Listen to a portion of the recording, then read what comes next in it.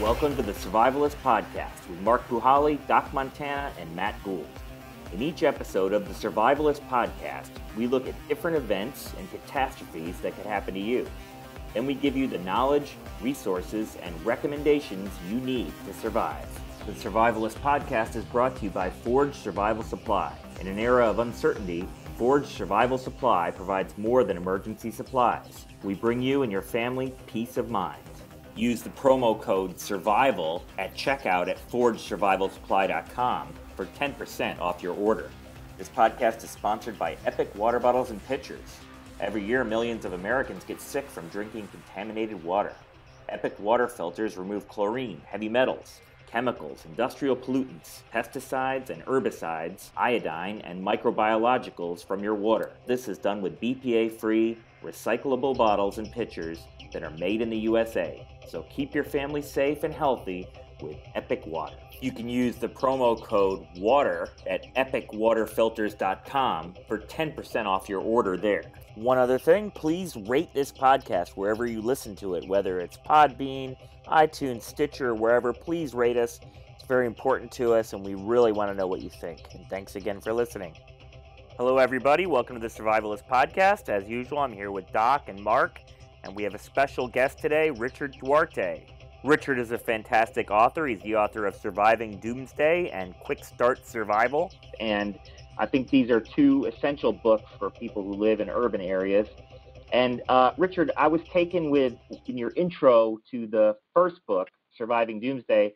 You talk about the percentage of people who live in urban areas in America. A lot of times, what we talk about on this show is uh, bugging out and living off the land, which I think a lot of uh, preppers think they'll do in the case in the case of a shit hits the fan moment or a uh, what you call WCS event, Richard. But tell me about people who live in urban areas and why they have to think differently. First of all, it's great to be here. I really appreciate you guys inviting me on the show. It's, it's a pleasure always to, to join you guys and to have the opportunity to share some of this information.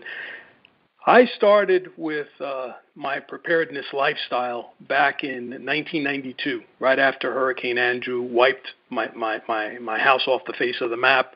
And we barely walked out with the clothes on our backs the following morning. And that was a very loud wake up call for me. I, I, I talk about that experience, I write about that experience in, in my first book. And anybody who's interested in the details can, can look that up. But um, basically it changed my life and it changed the way I looked at things. So when I when I first started uh, this, and I call it a lifestyle because preparedness is not something you can just do and forget about. It's something that you have to work on constantly, and and it evolves. You you have to try to uh, make it all the time. You have to try to improve on the, the, the preps that you've made. You have to improve your skills. It, it's it's an evolutionary process, and when I first started, I, I kept reading information that said the only way to be safe is to have 40 acres in the middle of Montana and move off the grid and and do all these other things that I knew were impossible for me. I I, I had a family in, in South Florida, I had extended family, I had businesses. There was just no way that I can pick up and leave and go someplace else as much as I may have wanted to. So I very quickly realized that I had to make the very best that I could of the circumstances where I found myself, and that was in a very busy urban environment. And not a lot was written back then about the urban environment. There was a lot of books on bushcraft and wilderness survival and off grid survival, but very little on urban. So I, I almost had to sit down and figure out what was going to work for me. And that I did over a period of years through trial and error, mostly error. I would I would try something. If it worked, fantastic. If it didn't, I, I had to move on to the next possible solution. And even when it worked, I, I had to keep refining it to figure out was this the best possible possible way to do this. So really, the main focus of, of my books is, um, you know, there's, there's good news and bad news. The bad news is that you know we all live in a very dangerous and unpredictable world. Urban dwellers are especially vulnerable, and you know when bad things happen, it's it's it's it, it doesn't you know you can't pick the circumstances. It's going to happen when it happens. Uh, but the good news is that all the information that we're going to talk about today, all the skills, all the gear, uh, all the preparations, they're easily within the reach of the majority of the population. You don't have to be a survival expert. You don't have to be a Navy SEAL. Uh, you don't have to have special forces training in order to prepare yourself and your family to be as, uh, as safe as you can reasonably be uh, given the circumstances. And the, the, the simple answer for when people ask me, well, what's the answer? The simple answer is you have to focus on the survival basics and you have to get started. You can talk about this from here to you know eternity. If you don't actually take that first step and get started, nothing's going to happen my circumstance I've talked about many times. I live in New Jersey, just outside of New York City, and I work in New York City every day. It's about as urban as you can get and uh, and very different than than Mark and Doc. But uh, so what what's the percentage of people that live in circumstances you know like mine, very urban areas? It's hard to say exactly, but I would I would estimate based on everything I've seen, probably a good eighty percent of, of the population lives in either an urban or suburban environment. And suburban environments are almost as bad as the urban environments in that they, you know, folks that live there are almost totally dependent on uh, utilities. They're dependent on uh, all their supplies, their their their essentials being brought in from someplace else, and then you've got this concentration, this massive concentration of people that, uh, for some reason or another, they all wait till the last minute whenever something happens to, to, to secure the things that they need. We see that down here all the time with in South Florida with the hurricanes. Even though we've had a ton of hurricanes over the years, some devastating, you know, like Andrew, Category Five, uh, others much less so. You see it the last day, uh, the, the, the, right before the storm hits the, all the big box retailers, all the supermarkets, they'll be swamped with people. It's almost like the world is coming to an end, and they have to get that last gallon of water. They're fighting in the parking lot over the parking spots. Um, you know, most folks don't even have a flashlight in their in their drawer, so you see them. Uh, all these things disappear off the shelves almost immediately, and and it's and it's a it's a massive struggle just to get in and out of these places. So you know, I, I look at this and I say to myself, but this is something that happens every year. The hurricane season is from June 1st to November 30th. Even if there is or isn't a hurricane, you still have to be prepared. Why not do that in advance? But yet, you know, there it is. It happens every single year, and then you have that mad rush. So just imagine if that's if that's because of of, of a natural disaster that's announced days in advance. Imagine something that comes out of left field that just wasn't expected by anybody and affects you in a severe way uh, and then you've got all these folks that basically are not going to know what to do or, or, or, or, how to protect their families, and they, they're lacking even the most basic supplies and skills. So, Richard, let's let, let's play that out for a moment. Let's say there is some unforeseen natural disaster in a highly populated area, like maybe where you live. What do you see the first couple of days looking like? Pandemonium, um, chaos. To begin with, uh, I think a lot of people put a tremendous amount of their reliance on first responders, government, governmental agencies, relief agencies. They, they rely on them to the point where it's almost unrealistic or is unrealistic. Some of these agencies work, work very well, they're very efficient, they're well run, others are not. And even when you have these these agencies that are prepared and they're ready to go and hit the ground running, um, if the disaster is big enough, there's just no way that they're going to be able to cover uh, all the ground and all the folks that need help. Same with the police, the fire, any other first responders. They're going to be stretched to the maximum. So I think, especially the first few days, given the number of people that are uh, unprepared and that don't even give this topic a second or even a first thought, um, there, there are going to be a lot of people that are going to be waiting for help that's never going to come and there are also going to be a lot of victims. And when you say victims, yeah. I notice that you certainly don't shy away from defensive uh, tools um, in your books. Can you elaborate a little bit on um, on what you think might be needed in some sort of a urban situation? Well, I, have always said it, and, and, and I think I've made myself very clear in, in, in both my books and in all my writings. I think that security and self defense is job one, always because without security and self defense, nothing else really matters. Uh, I always get people that stand up and say, "Oh no, but water. You got to have water, and you got to have food, and you got to have, uh, you know, first aid." And I say, "Okay, all those things are absolutely essential. But what good will any of them do you if you're seriously injured or dead? And then they look at you and they're like, oh, wow, I didn't think about that. You know, when I'm thinking security and self defense, I'm not thinking in those terms. And I'm like, well, those are the terms you have to think of because we've all seen the aftermath of hurricanes like Katrina, Andrew, um, where you have massive looting. Uh, you have people that go out and hurt other people and take the things that they need or want just because they can. Uh, we had looters in our neighborhood half an hour after the storm passed.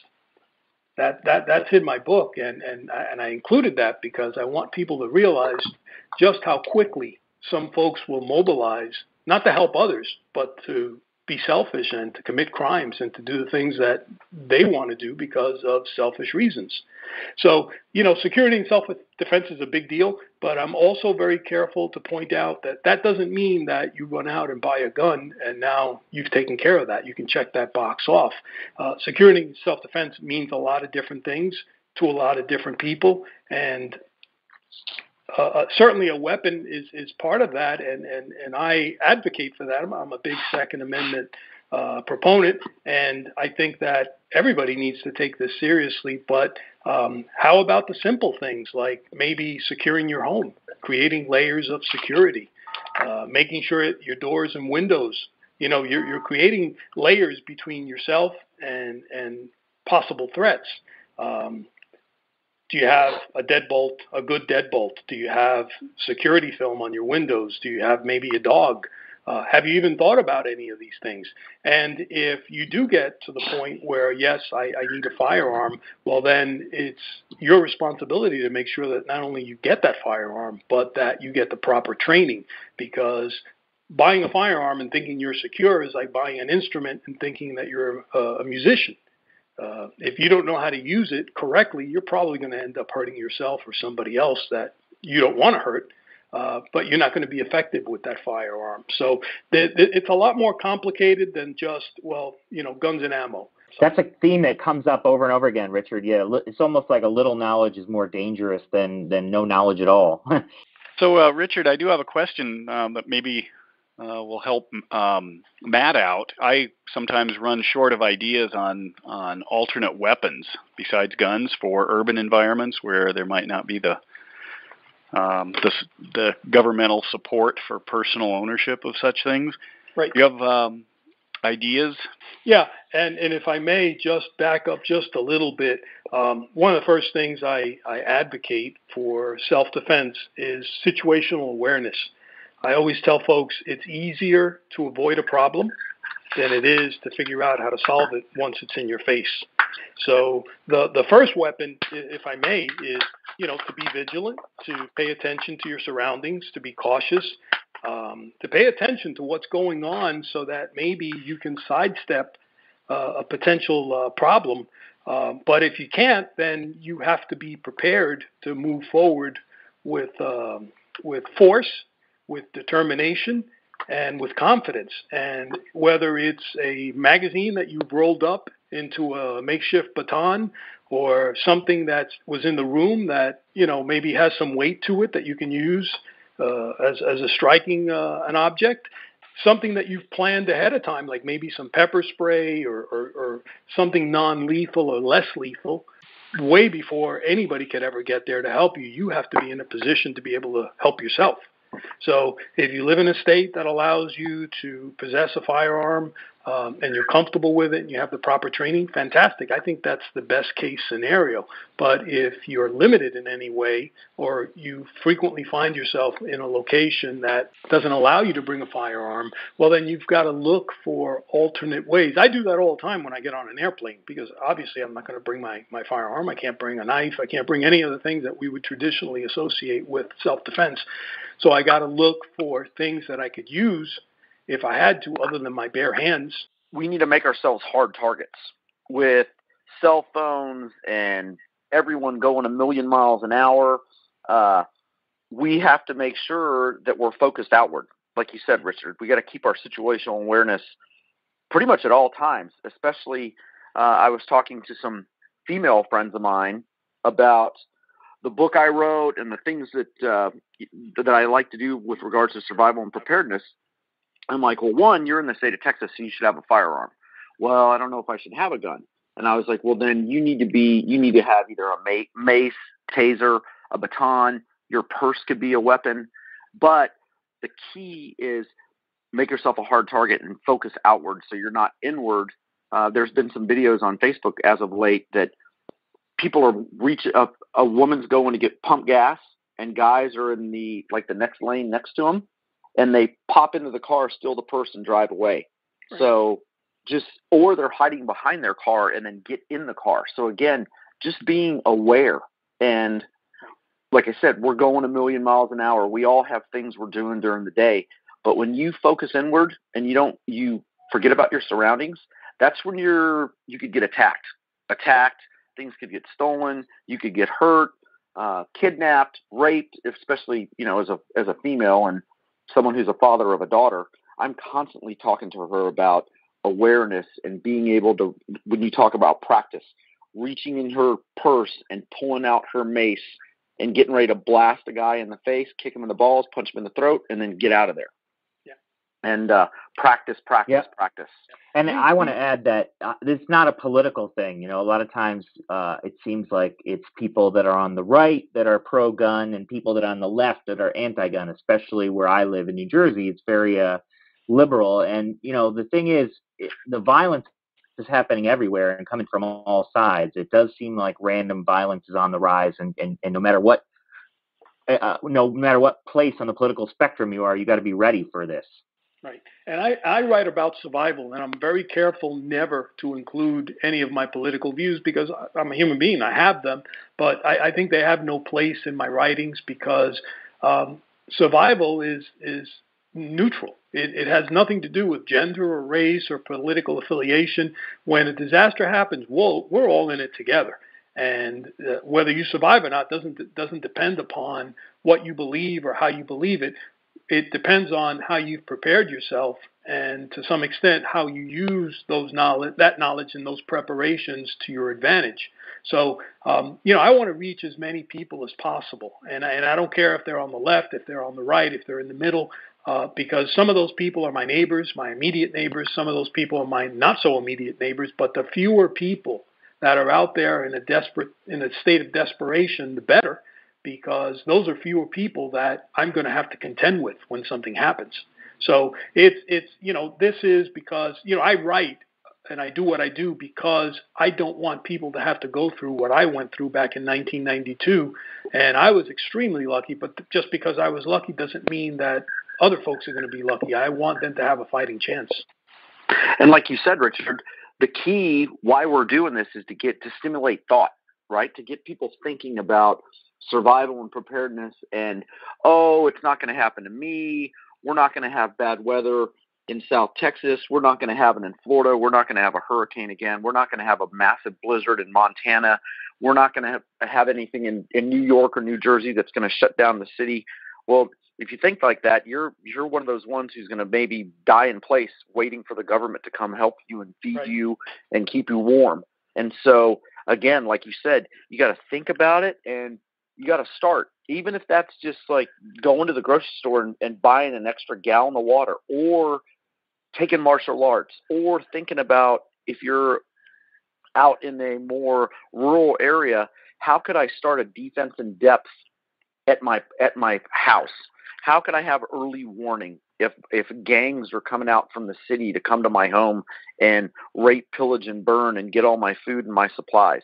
And I really like your concept with with defense because we talk about that in the mili- military all the time about having layers upon layers of either early warning or uh, what are called phase lines in the battle space to allow you and or people in your party to react to a potential threat and take out the threat or turn the threat or have them be like, okay, this is a very hardened area, and I don't want to go mess with these people because I'm gonna I'm gonna lose numbers, I'm gonna hurt myself, or people are gonna die for me trying to go see what's in this you know this space. Excellent, Richard. You talked about uh, you said that you gave a, a, uh, recent talk on ten preps you should make before the end of the year uh, for urban survival. I wonder if we could go through those and, and we'll say it's 10 preps you should make in early 2017 for urban survival. Can you take us through those? The next part of the Survivalist podcast is brought to you by the Parry Blade Survival Knife. Designed by SAS legend Mel Parry. For more information, visit parryblade.com. That's Parry, P A R R Y, blade.com. Yes, I'll, I'll, do it. I'll do it quickly because this was like an hour presentation, so I'll, I'll, do it quickly. And then if you guys have any questions on any particular ones, you can stop me and let me know. But uh, uh, number one, the, the, number one prep that I that I advocated for in this presentation was security and self-defense. Again, the first priority. And you know the reasons for that is obvious. Um, I encouraged folks to go home, uh, look at their layers of security and to work on those things and imagine, you know, go on the other side and imagine, you know, how would I penetrate these layers if I was on the other side and what can I do to shore up any vulnerabilities? And again, we talked about situational awareness and how important that is. Um, firearms and ammunition, um, that was number two. I absolutely recommended folks uh, go out and secure whatever it is that they felt that they wanted to have or they needed. Um, remember, this was made prior to the election, so we, you know, that recommendation was based on the uncertainty of, of, of what was going to happen uh, during the election and where we might end up and the availability of some of these things in the not so distant future. But just because the election went one way and not the other doesn't mean we can let our guard down, and it certainly doesn't mean that we should say, uh, well, I won't get it now, I'll get it later because I don't have the cash. Or, you know, if you need something and if something's necessary for your security and self defense, get it now and make sure you have enough of it uh, and make sure that you've tested it and that you're uh, comfortable and proficient with those tools that you're going to use in, in, in, in those situations. And very, very important, seek out and get the proper training. I can't stress that enough because, again, without training, um, you're not going to be effective and you're probably going to be more dangerous than anything else. Tell me about the training. So uh, let's say you get, you know, you get yourself a, uh, a handgun, you get a nine millimeter Glock 19, and you take a course from a uh, from a range instructor. What else would you recommend to do in terms of training? All these skills are perishable. So if you go and you take a class and then you put the gun away and it's nice and shiny and you just want to keep it nice and shiny and you never go out and practice the skills that you've learned, um, it, it's not going to do you a whole lot of good. I mean, it's better than nothing, but it's not going to do you the. It's not going to get you to where you need to be. So part of the part of the the equation is to take a class, get the training, learn some of those skills. But the other part of that is to practice and go out there and see what works for you because all of us are different. Um, I, I trained with an instructor once that, you know, he never fully extended his arms um, when going into the isosceles. And, you know, everybody always wondered why. You know, he had a defect in his arm, so he couldn't extend his arm all the way. And he had to figure out a way around, you know, and still be effective. So everybody's going to be different. Some people's vision, you know, is not the same as others. Uh, maybe this guy is left-handed, the other guy's right-handed. You know, everybody's going to be completely different. Um, so you got to find what works for you. And at the end of the day, what matters is that that round end up where it needs to be, regardless of how you get it there. All right, number number three, uh, make a plan and test it. Um, and when when I say make a plan, uh, a lot of folks get confused. They think, well, why do I need a binder in my closet with a bunch of pages in it that contain a plan? Negative. It's not about the binder in the closet with a bunch of papers in it. It's about going through the process of creating that plan. That, that that's where the, the gold nuggets are. That's where the jewels are because it forces you to sit down and think and analyze and plan. Uh, writing it down is just the gravy. But if you go through that process, um, you'll learn things and you'll discover things that you didn't even think about before. And when you test it, you'll actually figure out what works and what doesn't. So it's a process of planning, testing, revising, planning, testing, revising. What works, what doesn't, what's fantasy. There's a lot of fantasy out there. Um, you don't have to go far to find it. It's on the internet. It's on YouTube. It's it's it's in books. Um, I, I laugh sometimes because I, I read some of this stuff and I, I go like, well, yeah, maybe in fiction, maybe in a Rawles novel, but you know, not in life, not in real life. It doesn't work that way. So anybody who's putting any kind of uh, reliance on this information, you know, they're in for a rude awakening. One thing is fiction, and and one thing is reality. So you have to test what works for you and what doesn't. There's no substitute for firsthand experience. And it's like you were saying before. I've done wilderness training classes where I've gone out with this wonderful knife that I thought was going to be awesome, the knife of all knives, and it ended up being a piece of crap. It didn't work. It didn't. It didn't do what I needed it to do. And then I, I had this little thing that I bought on Amazon for 20 bucks, and it was fabulous. So again, you have to test it. You have to take it out of the packaging. You have to put it under uh, real life conditions, and you have to see what uh, what works and what doesn't. To run through that, Richard. So I, uh, so you familiar with New York, and so I'm in New York right now. My family's in New Jersey. So when you say run through the scenario, you mean like pretend there's a worst case scenario event that happened, and I've got to get home without public transportation and try to do that. Is that? Yeah, and, and and you don't have to recreate it exactly. You do the best you can. Um, instead of maybe taking the highway, you know, I would recommend uh, drive home. Uh, you don't have to walk home, but drive home using some of the side streets that you would have to walk. Go through some of the neighborhoods that you would have to go through. Uh, see what's there along the way. You know, try to plan alternate routes so that when the the the, the thing actually, if it happens, if when it does happen, uh, you're not you're not navigating blind. You know, one of the things that I neglected to mention before in the get home mat bag was a map and a compass. Uh, it's on my list, but you know, again, you forget these things. Um, very important because uh, you don't need so much uh, a compass in an urban area as you would in a wilderness area. Uh, but you still need it because if you're in neighborhoods that you're not familiar with, well, you know, which way do I go? I need it more. yeah, well, I mean, if you're in the middle of the wilderness and you look around and everything looks the same, all the trees look the same, you know, uh, uh, uh, uh, you have to have a compass in those situations. If you know that an avenue runs a certain way and a street runs another way, you more or less know just by looking at, at the street signs which way is north and which way is south. But you still may not realize that, you know, this may connect and that doesn't unless you have a map and a compass and, and you're able to navigate some of these uh, terrains. But um, again, if you could run through that scenario in a way that tries to at least gives you a flavor of what you would have to face under one of those uh, situations, you at least have some comfort with the situation as opposed to doing it for the first time when a when a when a disaster strikes. Okay, great. So we're on number uh, four now, right? Four is create a knowledge base. Uh, I encourage everybody to start their own survival library. Uh, this could be survival reference books. Um, even some fiction is really good because it allows you to place yourself in a scenario that you may not normally encounter, but that the the, the, the subject of the story has to navigate through. And this individual is faced with problems and has to find solutions. And you may actually find some good information in some of those solutions.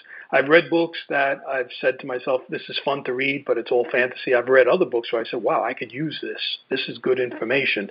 Um, I encourage people to take notes when they go to presentations, to print out information that they find online uh, and organize it and put it into binders um, a lot of people keep stuff on Kindle or some other electronic device. I think that's good if you want to carry a lot of information from point A to point B. But remember that you have to have a power source for that. And if the power fails, you better have a plan B. So I also like I'm I'm old school. I like books. I like to tab them. I like to highlight them, and I like to be able to have something physical in my hand that I can rely upon, whether there's there's electricity or not. So, but the key is to have uh, the the knowledge base available to you because again we cannot remember all this stuff. And there may be things that we need to access quickly information we need to access quickly. Um, and if you have these reference sources uh, available to you and you're familiar with them you'll be able to put your hands on the information very very quickly. Yeah very good. Very good thought. Number five uh, is learn new skills uh, we all get complacent. We all get comfortable. Um, we live in, a, in an age where a lot of things are done for us, so we really don't have to know how to do them ourselves. But I ask people to think outside the box, and I ask them to imagine a, a scenario where uh, those first responders, uh, those police officers, uh, all those other things that we rely upon so heavily aren't there, and you have to take care of your own immediate situation. So I encourage folks to take a first aid in a medical class, uh, learn CPR, um, self-defense skills, uh, firearms training, navigation with a map and a compass. Uh, and then practice your skills. Uh, don't just go to a class and and and forget about it. We we've we've had uh, classes where we learn certain uh, survival skills, certain medical first aid skills, and then we practice on each other. Uh, and every so often, oh, somebody will say, "Oh, I forgot about that." Well, you know, this is why we practice. This is why we do this every so often, and you don't have to make it uh, an event where everybody dreads, you know, oh my God, we're going to do one of these again. No, you know, try to make it a fun thing. Try to make it an educational thing as much as possible. Maybe introduce new gear, new equipment, uh, talk about things. Um, don't do it to the point where everybody's sick of it, but do it often enough that if something should happen, everybody has some familiarity with what you're talking about. Number six, uh, stocking up on resources, food, water, medical. Uh, a lot of times people ask me how much food and water. Well, it depends. It depends on a lot of things. But um, normally I recommend 2,000 calories per day per person and two gallons per person per day of water. Why? A lot of people recommend one gallon. I recommend two because, especially in, in, in areas of the country where it's really hot or uh, where you're exerting yourself, you're going to need more water. Can you do with less? Yeah, absolutely. But if you can plan for two, uh, you, you've got a little bit of a cushion and not only that, but if extra people show up at your house, uh, you always have that extra water, and people will show up, and these will be your friends, your relatives. You know, good luck turning them down. I mean, I hear people say it all the time. Well, no, nobody's coming over my house. Ah, you know, eh, you know, people come over your house. You're not going to turn them down. You know, you're going to be a human being, and you're going to do the best you can to help them. Um, especially your friends, your neighbors, your your your relatives. You know, at least that's what I'm going to do. Uh, so store more than you think you'll need. Uh, yeah. Don't underestimate the needs figure for you know last minute drop-ins. Uh, I recommend at least a 30-day minimum of, of food and water. Uh, if you can build it up to 60, 90, day, you know, 90 days, and then maybe even six months, that's even better. But you know, once you go beyond that, then you know, it's it's it's it's it's a job to keep all that stuff uh, fresh and rotated and organized and uh, so you know it, it, becomes more of a commitment. But i think if, if you're able to start with 30 days and build on your efforts i think that's a good start. Um, i focus to me to me even 30 uh, i'm sorry to interrupt to me even 30 days of water so i have a family of five two gallons a piece 10 gallons a day 30 days so i'm at 300 gallons of water right? So right. i don't even know how i would store 300 gallons of water yeah, it's it's a challenge. It's it's not easy. And and for example, I have a swimming pool, and I could use some of that water for certain purposes, and I probably would. Um, but uh, there are some really good products uh, on the market nowadays that allow you to store the 55 gallon drums uh, sideways, horizontally, and uh, by filling the bottom drum, it also fills the top drum. I did a story on that not too long ago. It's going to appear on my blog probably uh, this week, and um, you know, there, there, there are all kinds of things that you can do. Uh, but again, it's a challenge, and water is very heavy. If you live in an apartment or in a condo or maybe even a townhouse in a large urban area, you're going to have to really think through this and find some imaginative ways to store as much as possible. Uh, it's not going to be easy, and uh, even rotating some of this water because you can't store it indefinitely uh, is going to be a challenge. But again, you know, how much do you value your life, and how much time is it worth to put in to try to protect yourself and your family. Yep. So, and Doc, last week we were talking about that specific scenario in Missouri, and, and you were talking about specific brands of food. Can you remind remind us what that is and how many you'd need for uh, 2,000 calories a day? Um, I depending on how you want to store the stuff, I use a lot of the freeze dried Mountain House, and I actually like it. I mean, I'm one of the maybe the few people, and I don't even have to cook it all the way either. But uh, 2,000 calories each each package um, actually says either how many servings or and or how many calories or both, and uh, depending on uh, if it's a calorie dense uh, meal, obviously you're going to get more calories in a smaller amount of space. Um, but that's the one that I use, and then you vary it. So I usually start out with some core meal, and then have a couple of sides, which are also small pouches. And then if I carried that out, you know, that times five days, ten days, thirty days, um, and pretty soon I'm up to the, you know, buying the big cans, the number ten cans, uh, which I wrote the article about. And then you get into both not only 30 year storage, but you can start mixing and matching them. And that's again, I, I would encourage people to, just as Richard's saying, to try this stuff out. Instead of saying I need 2,000 calories and measuring out what 2,000 calories would probably be, you get an idea of what survival life is like. If it's cold, you're going to need more. If, you're lounging around, you're going to need less. Right. Um, and then you're going to have to balance it out for what people, you know, younger kids or older people are using. And you don't want to have a lot of waste. You don't want to have any waste, actually. So yeah. you could eat uh, in cycles. So whatever's left from the first from the kids goes to the adults, and then the adults supplement theirs. So there's a, there's a lot of ways around it, um, but that stuff's I think a lot easier to store uh, because it's smaller, but it's of almost no use without water. And I agree with that 100%. Um, and in fact, what I recommend is calorie dense, shelf stable, ready to eat food that requires little or no preparation. Um, because when you're stressed out, the last thing you want is to be cooking, and you may not even have a situation where you know you can cook. So you know to have a pouch that you can pour some hot water into and eat it, that's fantastic. Yep. Yeah, I also chose a, to live in a place that's got three main rivers, kind of intersecting. So up out in the mountains. So no, that's good for you, Doc. But you reminded us what it would look like in uh, on the Hudson with you know 10,000 people fishing if if it was a worst case scenario event. And and you know the other thing is not to forget uh, folks in your group that may have special needs. They're very young, they're very old. Um, folks that have medical conditions that may be on certain types of uh, you know restriction, dietary restrictions. You have to plan for all that. Prescription meds also you have to plan and keep enough of that on hand so that even if you can't go to the drugstore next week to refill your prescription, you'll be okay. All right. Sorry, Richard, I'm slowing you down. So. No, no, no, no problem. Uh, number seven, uh, health and wellness. Um, I encourage folks to keep up their health, to get uh, yearly exams if possible, to stay on top of any medical conditions they may have, uh, dental exams, uh, take care of and address chronic conditions.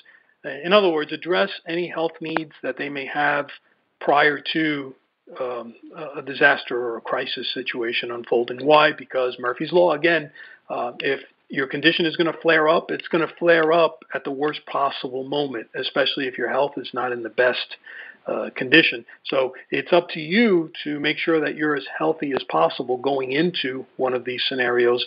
Uh, can something happen? Absolutely, but you know you have to do your part to try to mitigate any damages. Um, and the more you do to keep yourself healthy, the better you'll be in, in one of these situations. Yeah, and I know Mark, you talk about that a lot too, right? You talk about armchair preppers who have everything but are, you know, 50 pounds overweight, and what that's going to do to them. Guys have all this high speed gear, like Richard, you mentioned this too. I bought this cool pistol, I bought this cool knife, but they don't practice with it, or they think they're going to be an empl- be able to employ it in every any given moment. They think they're going to be able to put that load on their back and what if their house is burning down? How are they going to evac with that and their family? How are their kids going to put their bug out pack on and hike 3, 5, 10, 15, 20 miles if they've never practiced? How are they going to employ that firearm? How are they going to reload? How are they going to handle a malfunction if they've never practiced? And with the sugar coating again, oh, the government's going to come help me. They're going to take care of everything no one's ever going to get hurt. I'm never going to twist my ankle. I'm never going to break anything. I'm never going to get sick in a survival situation. That's all sugarcoating and fairy dust, and it's not reality. Yeah. That um, if I'm bugging out, like, what if I have a fever? What if I'm sick? What if I have pneumonia? What if I'm down for the count? And oh shit, something bad's happening, and I need to get out of Dodge. I need to mobilize. I need to protect myself. I need to protect my daughter, my family, etc. It's um, thinking through those scenarios, like you mentioned, that, oh, we think everything's going to be fine, but having multiple contingency plans, at least you've given it thought so you can steer in one direction or the other when something bad happens. Yeah. And, and you be, practiced again with your gear. You and the be realistic. Yes, be very realistic. And um, if you're out of shape and you haven't done any damn, if you haven't, if you're a couch potato or you work at a desk, I mean, and I'm not faulting anybody who works at a desk because a lot of people, I mean, a lot of people work at a desk and that's how we, that's how they make their living and support their family. But if you've never, if you haven't worked out and you're going to put a 50 pound pack on your back, uh, you could, you could go into heat exhaustion. You could have a heart attack. You could, you could be you could become a liability instead of an asset to your loved ones, right? And or your survival friends if you yeah. haven't practiced. And, and, and, and a sharp bot. I'm sorry. I said you didn't realize it, but you just covered point eight. yeah. Yep. A sharp body leads to a sharp mind.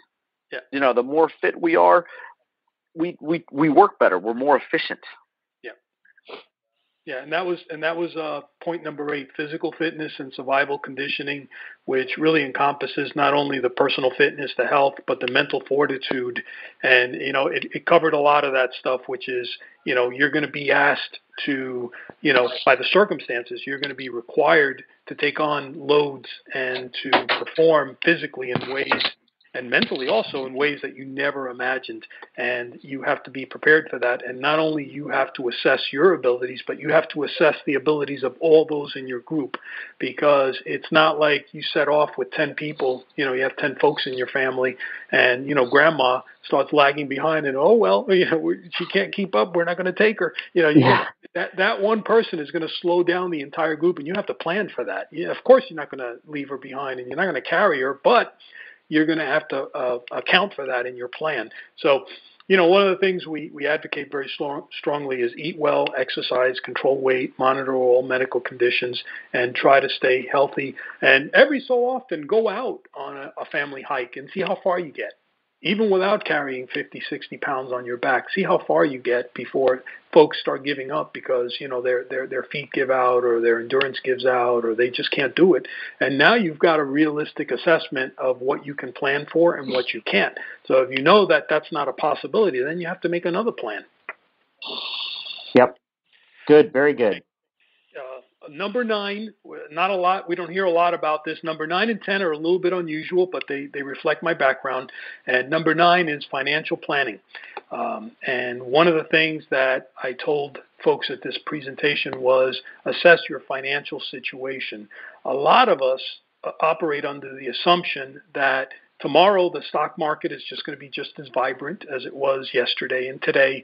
Uh, my bank account is going to be there for me. I don't need to carry around any any cash with me because I have three ATM cards and seven credit cards.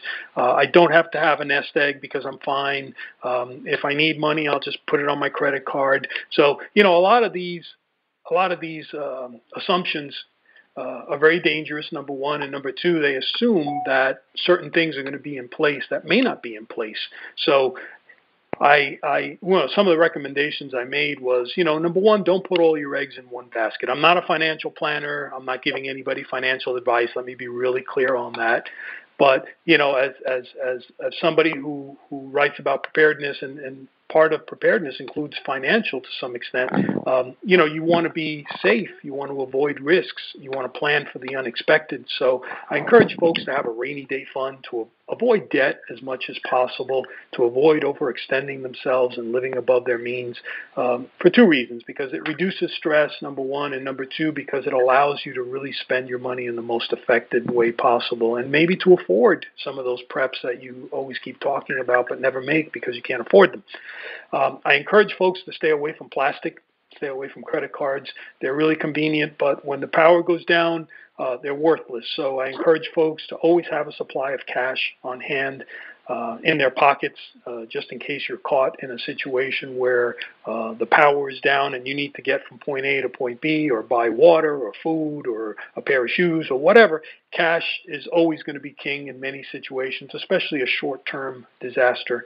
And folks will always, out of greed or whatever, accept the cash willingly. So if you have cash, uh, especially for emergencies, you'll be so much better off than that person who walks around with seven pieces of plastic in their pocket. And when they try to buy something and the system's down, you're out of luck. So um, I also encourage folks to keep some silver, maybe some gold, just in case, as both as a hedge against inflation and also for possible bartering, although that would be an extreme uh, circumstance. Um, number 10 are legal preps.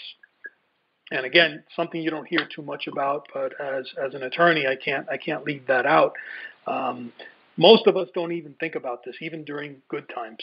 And we always assume that a disaster has to be this widespread apocalyptic thing that happens to everybody, but it doesn't have to be that way. Sometimes disasters are very personal.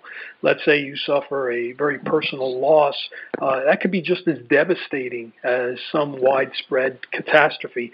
Uh, so I encourage people to think about what would happen if a primary uh, breadwinner were to be incapacitated or injured or killed. Uh, is there a will? Uh, is there a power of attorney? Is there a living will, advance directives, an asset inventory to allow other members of the family to know uh, where to go and what to do and how to do it? Um, so I encourage folks to gather up all these important documents, to organize them, possibly scan them, uh, maybe put them on a, on a password protected uh, drive or a USB uh, thumb drive, and to have access to all this important information in case something bad happens. And then also to have a plan for rebuilding or for reconstruction after a disaster. Let's say your house burns down. All your important papers were in the bedroom in a drawer somewhere, and that burnt with the house. So now, where do you start? What insurance company do you call? What bank do you call? Where are your statements? Um, you know, uh, you need access to all this important information in order to start rebuilding your life. But if you have it, if you have it, it's going to be so much easier than if you have to start, you know, playing detective at that point and trying to figure out and retrace your steps and figuring out what do I do and how do I do it. So uh, I, I say that from personal experience because all my information was lost, or maybe all of uh, next to all of it, um, right after Andrew. It, it, it blew away, or or it was damaged by by the water that came into the house. So I, I say from personal experience, if you have an opportunity safeguard all this information. And if you don't want to put it on a thumb drive or uh, back it up on, a, on, a, on some other device, maybe uh, make copies of all of it, put it in a mylar bag, seal it, and send it to a trusted friend someplace else, far away from where you are, or far enough away that they're not going to be affected by the same disaster that you would be affected by. And in the event of a disaster or crisis or some other unforeseen event, you know, there's a second person that you can go to and say, hey, give me my documents back. All right, thank you, Richard. That was uh, really good. Thanks for condensing the 10 into a shorter presentation. I think uh, we would love to have you back on the show to get more into the nitty gritty of uh, real scenarios. One thing we like to do is go through. Uh, I particularly, I know that Mark and Doc are more reasonable people, and they're always interested in real disasters that could happen. I, I am particularly fascinated with uh, end of the world as we know it events. Um, mm. so perhaps next time we could talk about one of those in, in, in, in, an urban environment. You know, basically The Walking Dead come come real. We all love that stuff. You've been listening to the Survivalist Podcast with Mark Puhaly, Doc Montana, and Matt Gould. Brought to you by Survival Cache, Forge Survival Supply, Epic Water Bottles and Filters, and the Parry Blade. Please visit our website, thesurvivalistpodcast.com, for more information. One more thing, please give us a review of the show, either on iTunes or Podbean or Stitcher, wherever you listen to it. Please give us a review. They're very important to us and they help us out a lot. And thanks again for listening.